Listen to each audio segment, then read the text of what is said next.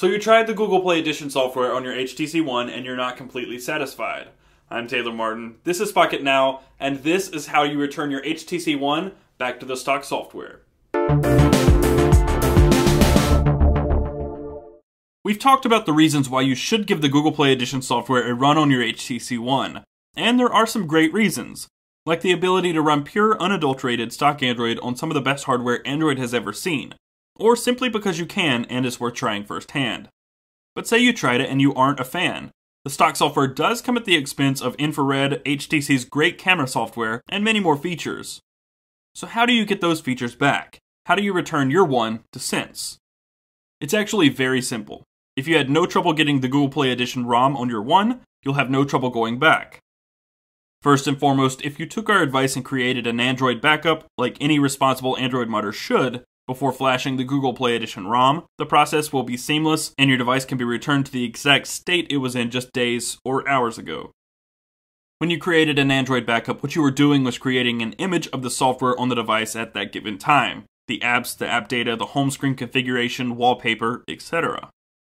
To return to that very state, reboot the device into recovery mode.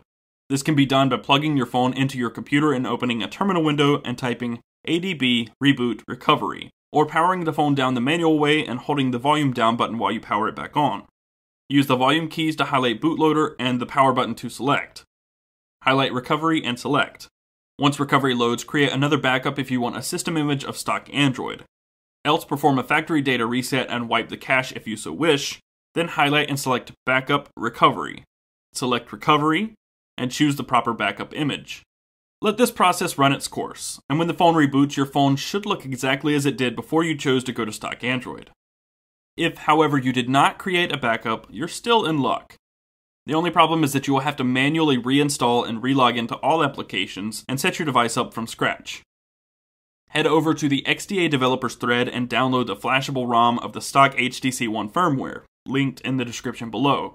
Once the download completes, move the file over to your device. This can be done in several ways, but the method I use is through Terminal. Plug the phone into the computer once again, open a terminal window and type the command adb push, the name of the file, forward slash SD card forward slash. This will take just over one minute to finish. And when it does, type adb reboot recovery, or manually reboot into recovery one more time.